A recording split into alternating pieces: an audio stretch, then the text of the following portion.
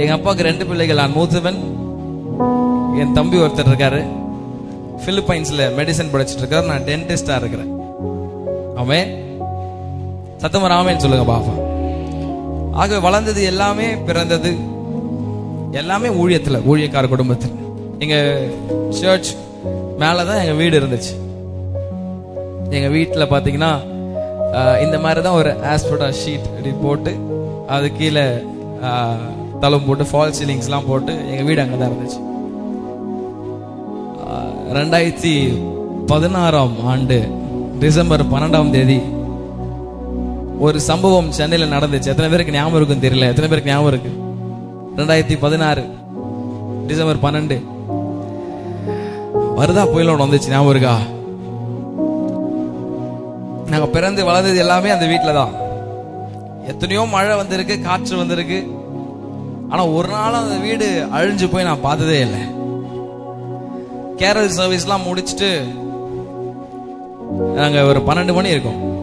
மதியானம் தான் எழுமணும் ரொம்ப டயர்டா இருந்தனால சாப்பிட்டுலாம் முடிச்சுட்டு ஜபத்தெல்லாம் முடிச்சுட்டு உட்காந்துட்டு இருக்கிறோம் பயங்கரமான காற்று பயங்கரமான மழை. என்னைக்கும் இல்லாத காற்று.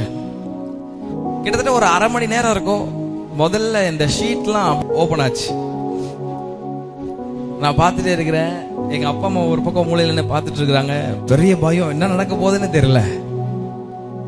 கிட்டத்தட்ட ஒரு பத்து வருஷம் அந்த வீட்டுல இருப்போம்னு வச்சுங்களேன் பார்த்துட்டு இருக்கும் போது ஒரு அரை மணி நேரத்துல முதல்ல ஷீட் ஓபன் ஆச்சு சீலிங்ஸ் எல்லாம் உடஞ்சது தண்ணி உள்ள ஃபுல்லா வர ஆரம்பிச்சிருச்சு. எங்க அப்பா அம்மா ஓரமா நின்னுட்டு அவங்க கண்களில் இருந்து வருகிற கண்ணீர் அன்னைக்கு நான் பார்த்தேன். ஒரு பையனா ஒரு தகப்பனும் தாயும் வடிக்கிற கண்ணீரை முதல் தடவை அன்னைக்கு நான் பார்க்கிறேன். ஏன்னா அந்த வீடை எவ்வளவு கஷ்டப்பட்டு கட்டினாங்க எனக்கு தெரியும். ஒவ்வொரு கல்லுலயும் ஒரு ஒரு ஜெபம்.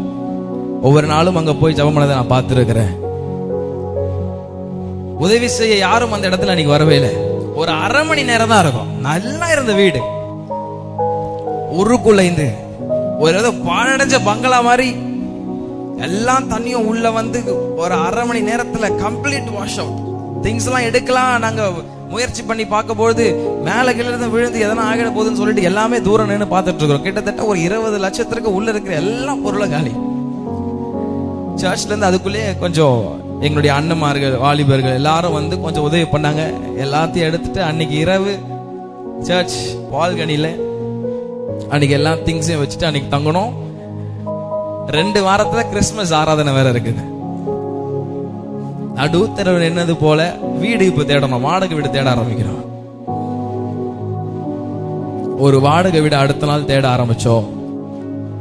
ஆண்டவர் ஒரு வீட்டை காட்டினார். அந்த வீட்டில் போயிட்டு எல்லாத்தையும் செட்டில் பண்ணிட்டு சொந்த வீட்டுல இருந்து வாடகை வீடு போறது எவ்வளவு கஷ்டம் உங்களுக்கே தெரிஞ்சிருக்கும். பெரிய அவமானம். நடுத்தரவுல எதுவுமே இல்லாத போல நின்று வேடிக்கை பார்த்துட்டு இருக்கிறோம் அன்னைக்கு இரவு எல்லாத்தையும் அரேஞ்ச் பண்ணிட்டு தெய்வ சமூகத்துல நன்றி செலுத்தலாம். போயிட்டு அப்படி குடும்பமா உட்காரும் போது எங்க வாயில இருந்து ஒரு வார்த்தையும் வரவே இல்லை. கண்ணீர் மாத்திரம் வந்து கொண்டு இருந்துச்சு எங்க அப்பா அம்மா அழுகுறத நான் பார்த்துட்டு இருக்கிறேன் என்னுடைய கண்ணீர் தாங்க முடியாத வேதனை. அன்னைக்கு இரவு தேவனுடைய தெளிவான சத்தம் என் காதில் துணிக்க ஆரம்பித்தது. மகனே இந்த உலகத்துல உனக்கு சொத்து சுகம் பொருள் எல்லாமே இருக்கலாம். ஆனா என் கிருப மட்டும் இல்லாம உன்னால ஒரு நாளும் வாழ முடியாதுடா. ரொம்ப தேம்பி தேம்பி அழ ஆரம்பித்தேன். அன்னைக்கு ஒரு புதிய பாடல் பிறந்தது. ஒரு வாரத்துக்கு அப்புறம் அந்த வீடை போய் பார்க்க போயிருந்தேன். அப்பதான் புரிஞ்சுக்கிட்டேன் ஆண்டவர் தீமையிலும் ஒரு நன்மையை வச்சிருக்கிறாருன்னு ஆமே அந்த வீடை போய் இப்ப நான் பார்க்க போனா நல்லா இருந்த வீட்டுல இப்போ வானம் தெரியுது ஒரு பக்கம் பாழடைஞ்சு போன மாதிரி எல்லாம் தண்ணியெல்லாம் ஊத்திட்டு இருக்குது.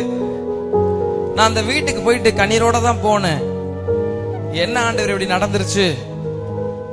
எதிர்ச்சி என்னோட லெஃப்ட் ஹேண்ட் சைடு நான் திரும்பி பார்க்கும்போது எங்க வீடு பிரதிஷ்டை பண்ணும் போது அங்க ஒரு சின்ன வசனம் போர்டு ஒரு சின்ன அட்டை ஆணி அடிச்சு மாட்டி வச்சிருந்தோம். நான் பார்க்கும்போது அந்த ஆணியில அந்த அட்டை அப்படியே அங்கேயே தான் இருக்குது.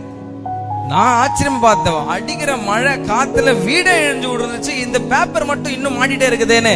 அந்த பேப்பர்ல இருக்கிற வசனத்தை நல்லா தொடச்சிட்டு பார்த்தா அதுல இருந்த வார்த்தை உன்னை அதிசயங்களை காண பண்ணுவேன் நல்லாதான் கொஞ்சம் கையை தட்டி அப்பாவுக்கு சொல்லுங்களேன். உங்க வீட்டுல நடந்தா எனக்கு நாடாம உட்காந்துக்கிறீங்களே நல்லாதான் கையை தட்டி. அதிசயங்களை காண பண்ணுவேன் ச- துக்கமான கண்ணீர் இப்போ சந்தோஷமான கண்ணீரா மாற ஆரம்பிச்சது.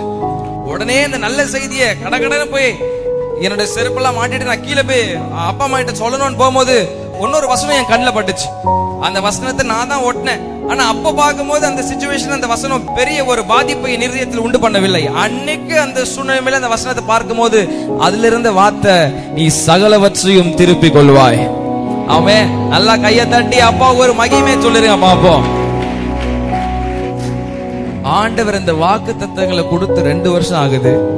நம்ம ஆராதிக்கிற ஆண்டவர் வாக்கு தத்தங்களில் உண்மை உள்ளவர். சொன்னது போலவே இன்னைக்கு ரெண்டு வருஷம் கழிச்சு இடிக்கப்பட்ட வீடு இழந்தவற்றை எல்லாவற்றையும் ஆண்டவர் மீண்டும் கொடுத்திருக்கிறார். ஆமே தீமைகளை நன்மையாக மாற்றுகிறவரை நாம் ஆராதித்துக் கொண்டிருக்கிறோம்.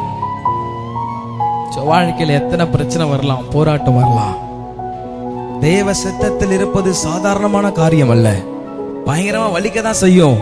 ஆனா அந்த வழியில அவரே கீழே ஆத்தின் பிசின் தைலமா உங்க வாழ்க்கையில இருப்பார். அவன் பலவீனம் இருக்க தான் செய்யும்.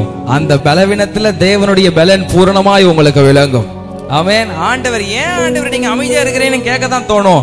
ஆண்டவர் அமைதியா இருக்கிறார். ஏன் தெரியுமா? நீங்க கேட்ட ஒவ்வொரு காரியத்தையும் அவர் செய்து முடிக்கும் வரை அவர் அமைதியா தான் இருப்பார்.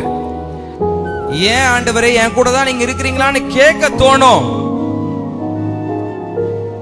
நம்மள மாதிரி பொய் சொல்லுகிற ஆண்டவரை நாம் ஆராதிக்கவில்லை. தேவன் மனமாற ஒரு மாந்திரம் அல்ல. சொன்ன காரியத்தை ஏற்ற காலத்தில் நிச்சயம் செய்து முடிப்பார். ஆமென்.